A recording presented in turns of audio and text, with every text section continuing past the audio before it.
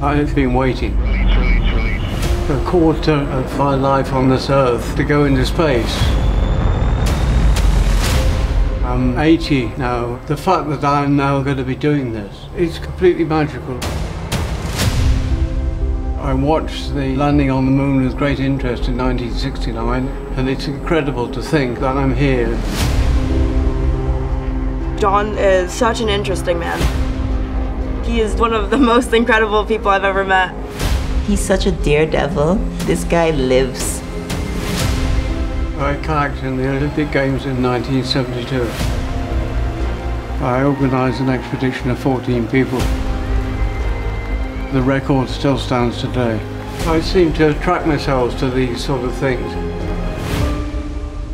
When I got diagnosed with Parkinson's, I thought, well, that's it. They're not going to accept me. We're going to space despite the Parkinson's. This attitude of space for all is a wonderful thing.